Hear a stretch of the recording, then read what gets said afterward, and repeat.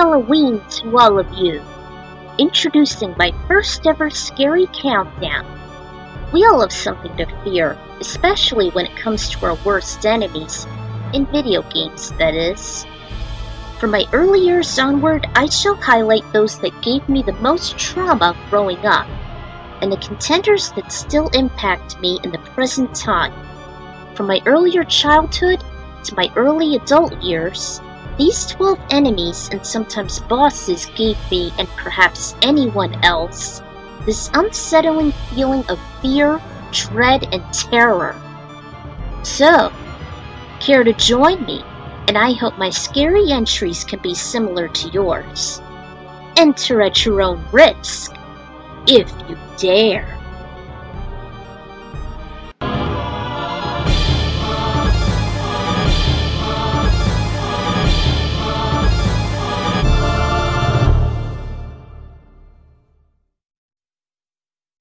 Starting off this creepy list, we have What's this?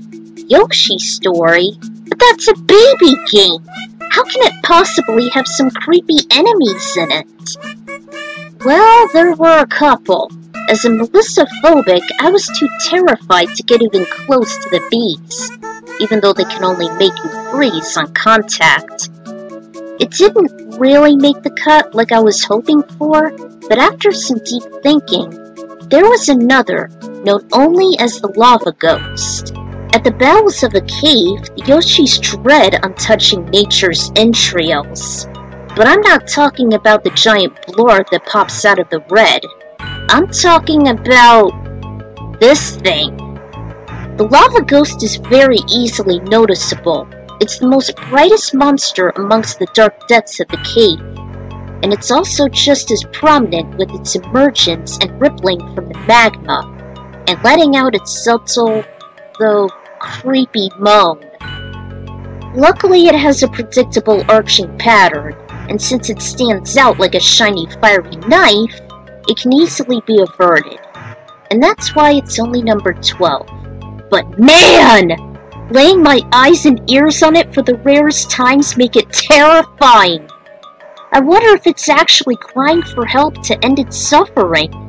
I even dreaded coming to this level because of that. Ooh. Wish I had some ice projectiles to freeze and shatter that haunting, daunting spirit.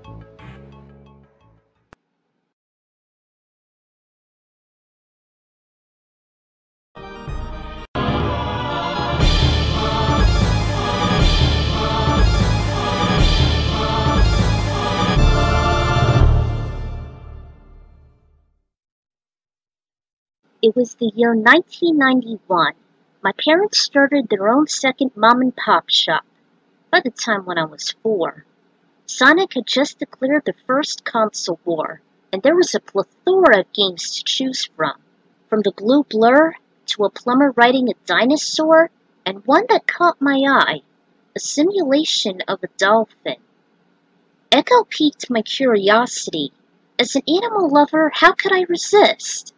It was a tricky game controlling the marine mammal, as you always extended your time limit of oxygen within 1 minute and 15 seconds. But until I got to the dreadful undercaves, the mazes were tumultuous navigation, but it wasn't until I heeded the crystal's warning. It was then when I first encountered the aggressive octopus. I grew nervous whenever I had to swim slowly past it. Even with the slightest speed up can leave you hit by its giant arms. The creepy cephalopod along with Ecco's screeches gave me so much angst, especially since you have a limited time to fill up your oxygen. You can't always be patient and take things slowly. It can take me a solid minute on slowly swimming past its powerful arms. It was like corporal punishment within a game. I was lucky to reach the ocean fence afterwards. Phew. Sayonara, cephalopod. Until you reach the dreaded Lagoon. Ugh! That was my drop-off.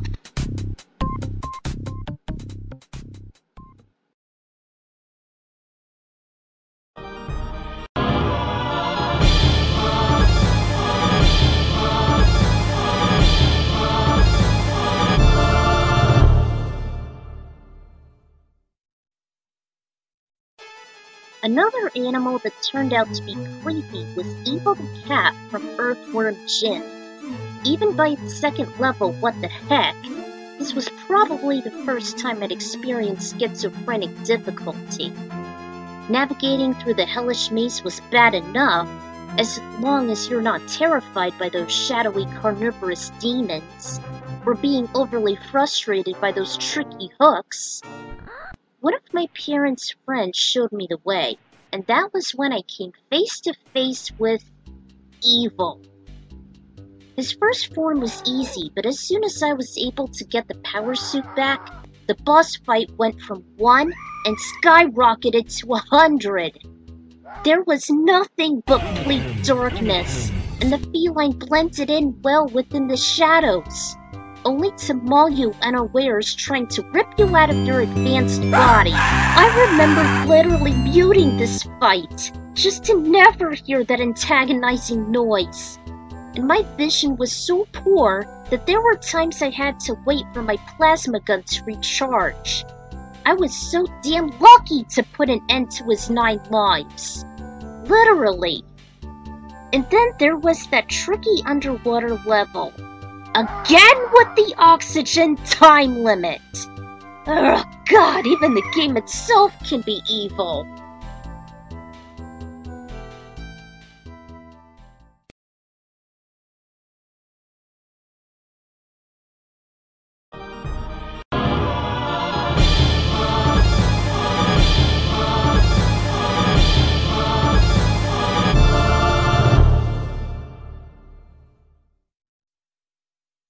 About a year later, after I had that fright with a cat from hell, 1993 was a pivotal year for animals. From the resurrection of fossilized monsters from long ago to having a whale of a time, my mom and pop shop received a unique 16 bit title that was dropped on the shelves. That game was Star Fox. I remembered this game had given me a plethora of fear pangs. From the inevitable crashing scene to those terrifying sneers of those unrelenting asteroids, and even descending into the bowels of hell. After I finally defeated the annoying Phantron at Planet Venom, my blood turned cold as I witnessed the giant monstrous face that was Andross. Damn! This thing terrified me. I never wanted to even look at it. All those telekinetic blocks he uses, and how he nearly sucks you into his void mouth. Even the way he looks as his monkey self. I even remembered hearing the instrumental break from Magic Carpet Ride by Steppenwolf, reminding me of how wide and powerful Andross's mouth is. Oh, and in 64, he didn't help at all. Four years later, I always hated getting swapped by his aggressive hands like a fly, chewing the wings off my vessel, even when Fox screamed in terror. I thought I'd be next in line, the same way he killed James McCloud even showing his brain and escaping from the collapsing layer manually used to give me nightmares. Andross isn't only just an evil maniacal genius, but a master of a child's worst fears. I grew out of them eventually, but I can never forget how traumatizing that evil ape can possibly be.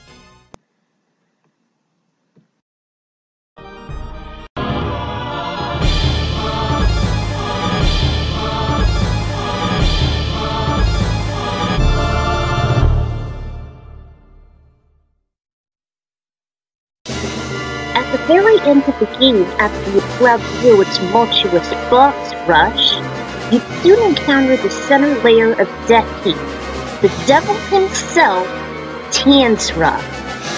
Before the game took place, you lost to him, and got resurrected for a second chance. And this creepy Clor isn't something to be messed with. His first form is easy, as just a floating head shooting large stalactites and huge orbs. But then, Yeah, his second form is where it's at. His health bar literally stretches across the screen along with listening to his terrifying boss theme while it picks up. As if it isn't enough to crap your pants. But he has a plethora of moves such as his claw, honing missiles, a large projectile shot from his chest, and arching fireballs. As long as you know what you're doing, you should be fine. But as a kid, he terrified me in the early 90s. But as I grew older and beat it on an emulator, thanks to a walkthrough I found on Game Winners, it was one of the most triumphant things I had ever witnessed.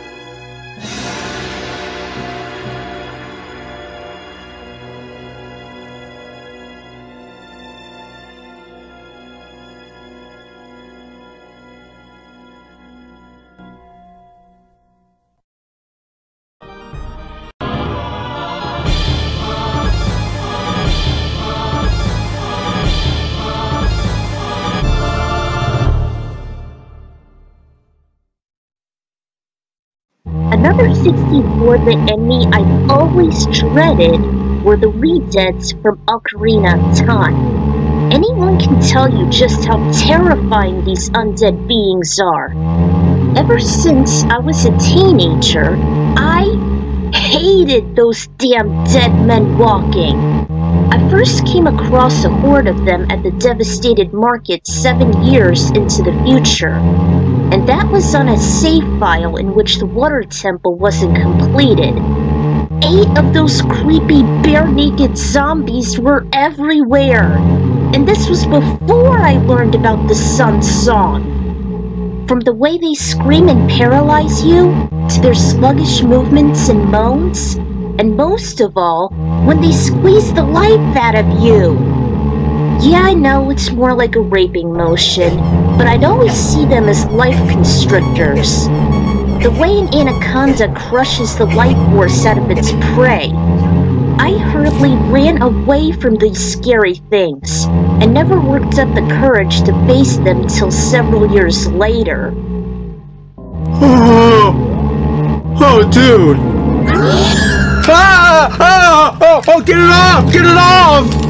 and these abominations were created by the Sheikah to protect the royal family tombs. They're really beyond insanity.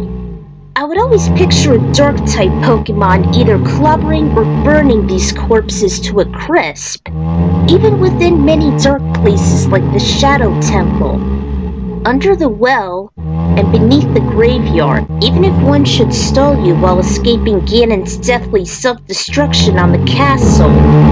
You are never safe until you know how to freeze them temporarily.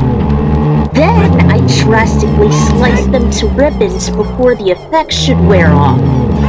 And they happen to be based on Japanese Guardians of Tombs as clay monsters. Jeez! This better not happen to me when I should pass away.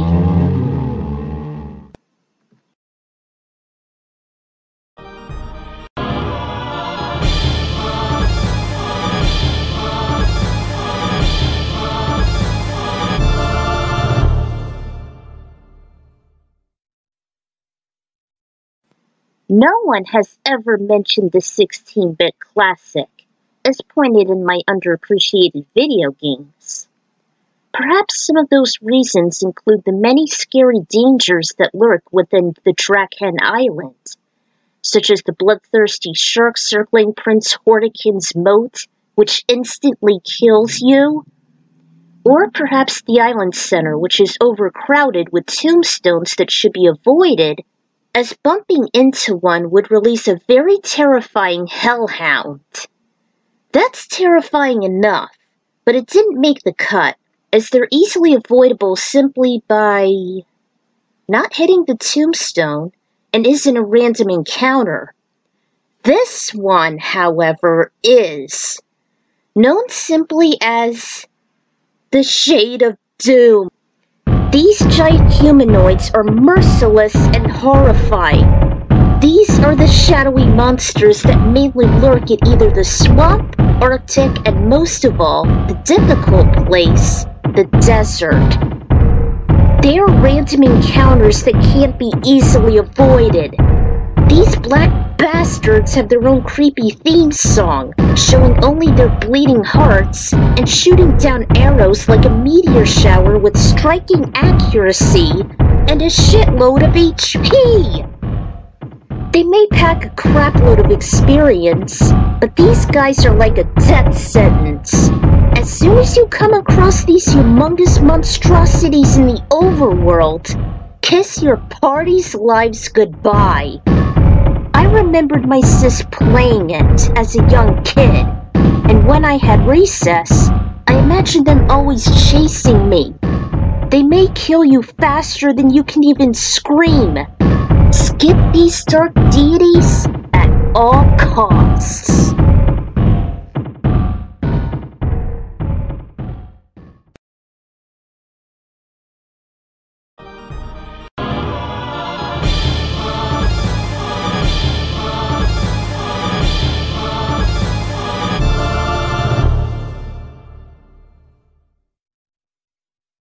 Ah, Super Mario 64, the undefeated champion of 3D platformers. So colorful and dreadful at times, and home to a ton of glitches. There were a few cringy aspects within these 64 bits. From the dread of drowning, to being eaten alive by that piranha that make your own stomach flip, the frustratingly endless staircase, and Sweet merciful Batman! Oh. Some people might. you know what? No, it's not that hungry piano. Sure, it was at first a little scary, but like Tim Burton's Sleepy Hollow, I'd grown used to it after a short while. But there was one thing, that one unexpected obstacle that I can't anticipate, in which I call it the Nameless Bomb. It can only be found in a couple of the latter levels within the lobby of the top floor, specifically Tall Tall Mountain and Tiny Huge Island. You can't stand in one place for too long. Otherwise, the goddamn black bomb would appear and grow right behind you, then follow you and expand till it explodes. This wasn't intentional. As about a decade ago, I discovered from a YouTube comment it's a glitch within the game's coding. I don't know what the hell the developers achieved when they made this. I never wanted to see it again, as I dreaded staying in one spot for even a few seconds at these hellish worlds. I also grew nervous on even returning to these places and collecting more power stars. I'd always stayed away from the island and mountain, as I would be safe within those other levels. No one has ever talked about this, and this is one of the reasons why I love the DS version a hell of a lot more. All the bugs are fixed in one of the games Rabbid Luigi hates. Be grateful for that, you snobby bastard.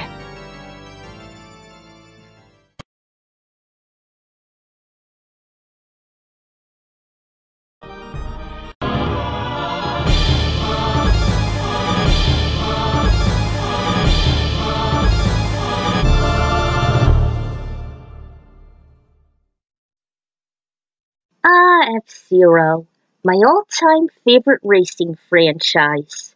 Such a large variety of environments, worlds, characters, and machines to choose from. With a ginormous diversity like F-Zero, there's bound to be a few creepy, not to mention hateable enemies, such as Zoda, Miss Killer, the Skull, Blood Falcon, and Black Shadow. However, there was one character that often doesn't get the spotlight, is constantly overlooked, and is virtually unknown as of now. And the next contender is Deathborn. Seriously, just even mentioning his name can give people the willies. As he has been born from death on a few occasions, up to three times since he's considered as a cyborg who literally wreaks havoc across time and space.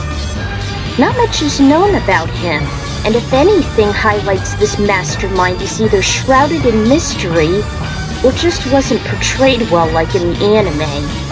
Deathborn's known to be the champion of the underworld and the Emperor of Evil's overlord, excepting in the anime who happens to be a disguise of him and is a silent antagonist. Heh, I guess silence isn't always golden. Whereas in GX, he speaks in a rather unearthly tone.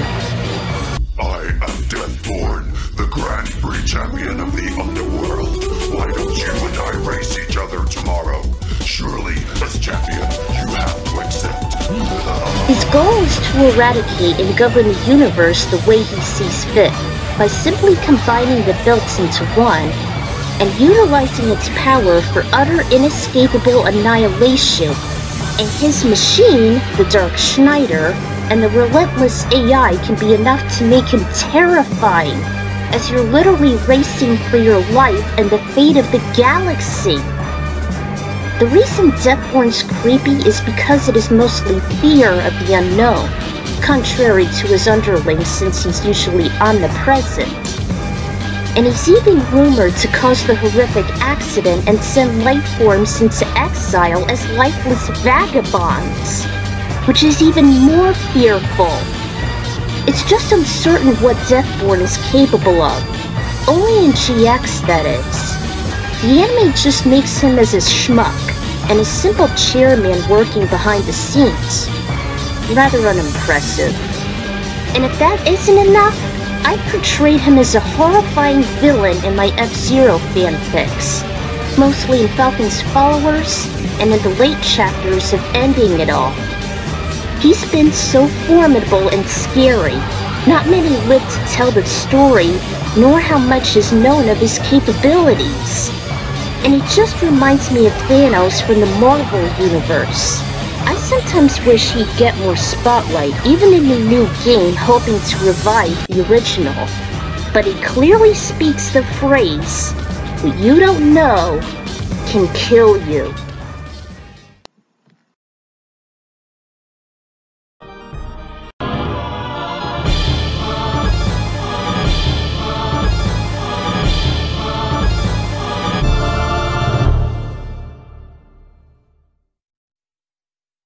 Dauragon C. Mikado, or as I like to call him, the Tower of Terror, is one of the most serious bosses ever.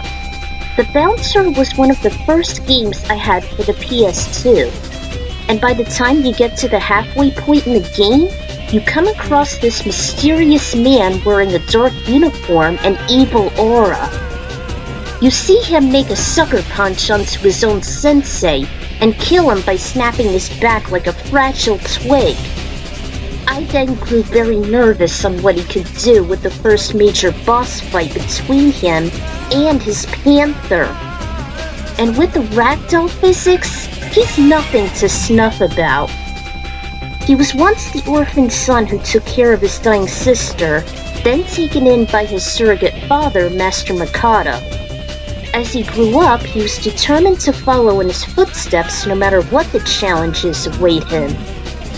One day, he became the leader of the Mikado Corporation, and all the benevolence in his master's reign was lost. He hired some heartless assassins, conducted twisted experiments, and ruled over with his merciless regime. After you somehow manage to save your soul, and if you're lucky to reach the Gallios, then he demonstrates his power onto the world, making a sort of Independence Day Death Star attack, and obliterates a hospital with his own satellite. Then, after Chaldea spills the beans on his motivation on ruling the rule world, the world with a satellite? well, Human beings want to be controlled. They forsake those who offer no benefit. They lord those with power. They can do nothing for themselves. Mankind's true desire is to be dominated by absolute power. And as if that wasn't bad enough, he challenged you in a multi-phase final boss fight within three distinctive forms. The fate of the world hangs in the balance, and you're trapped in space. You are literally at his mercy as Dauragon punishes you with devastating blow after blow. Even those horrifying attacks that surround him with a powerful dark aura. And your blocks can't even save you. Before I went to high school, this was the most scariest enemy I'd ever encountered. I was completely lucky I was finally able to defeat him before my freshman year even started. Dauragon has never left my mind ever since, and my bouncer tetralogy deflects this. There were times when I lost my mind on how powerful and truly terrifying the Tower of Terror is. Even when royally losing to him, I remembered spamming either Sion or Kou's best moves until he was done. This was what I always dreaded on playing the game, and you can be rather unprepared while doing so. Both Square and Dream Factory know how to make a complete monster in human form. I dare you to sacrifice your life and sanity by going through this horrible fate.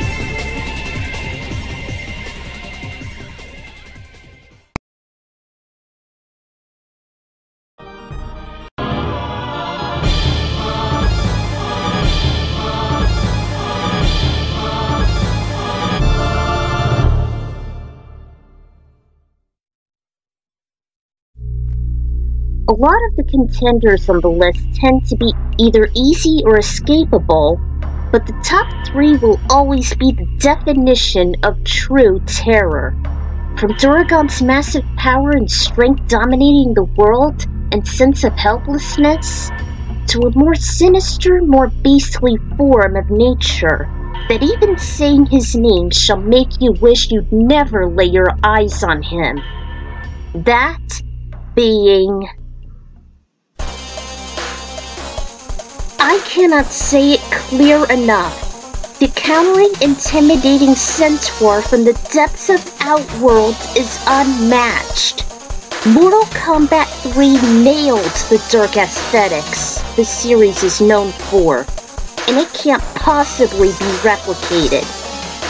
There were no rules nor safeguards as Shao Kahn brings in hell onto Earth as we know it.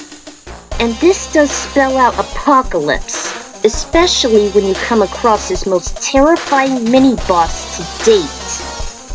Motaro literally screams creepy.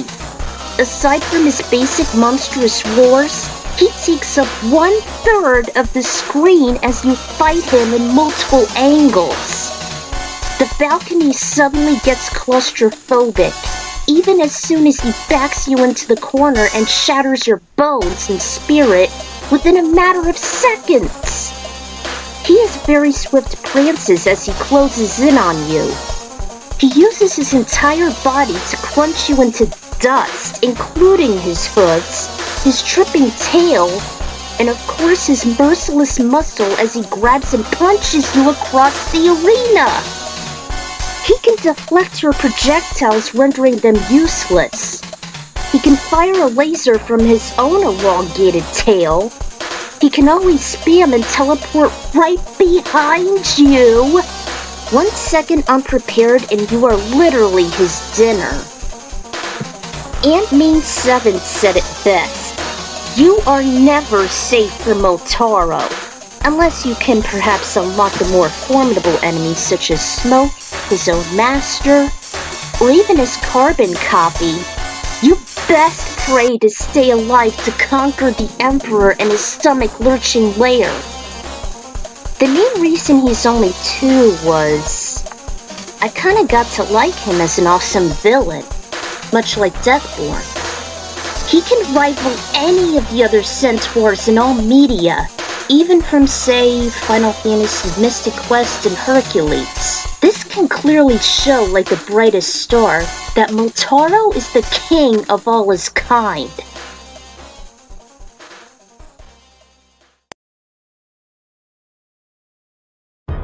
Alright, we counted down from 12 to 2, but before we get to the most creepiest enemy ever, here are some honorable mentions.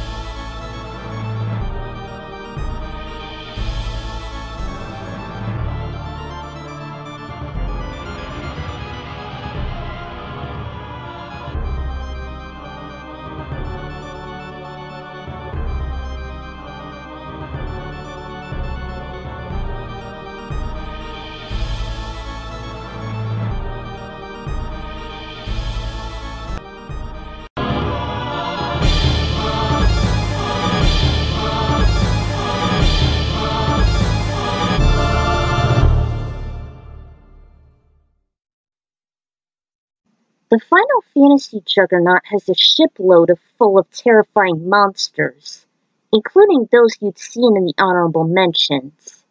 But there was one other that stood out like a sword. Let me paint this picture for you. You're first stranded in an unknown location named the Underworld after your advanced airship has been shot down by the Red Wings' crossfire. You stumble upon a kingdom of dwarves, and you notice they're in peril since their dark crystal is about to get stolen. One quarter of them thanks to Golbez.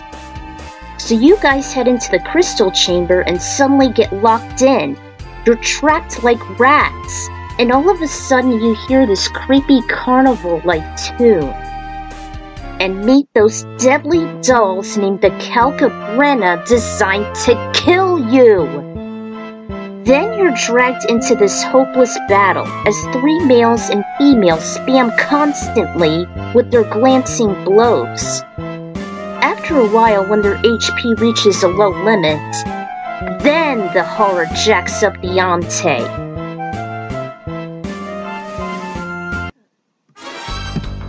They merged into a giant robotic and devastating doll that is so damn difficult to defeat! Yeah, this is when the scary shit starts. Right here. You're trapped underground inside a small room and terrified by the colossal size and damage of the Calcabrina. You're dead meat when they merge, even when she constantly evades Rosa's hold spell in order to wail on it. Claire isn't a problem, but her punches can cause major damage even sometimes confusion. I'd seen this in the SNES version, and even the DS version for myself. And sometimes the battle repeats as the dolls split and combine again. Picture this with the serial killing techniques by Chucky, with the ferocity of an Ursaring, and the fusion of Gold Gotenks. And you've got yourself one of the most creepiest enemies ever concocted and coming from my favorite installment in the Final Fantasy Juggernaut? No wonder she was named after one of the well-known demons from the Malebolge. I'm the Ikran Rider, and good luck trying to take out this tough hombre. Oh, and you take on Golbez afterwards, so... You're gonna need it.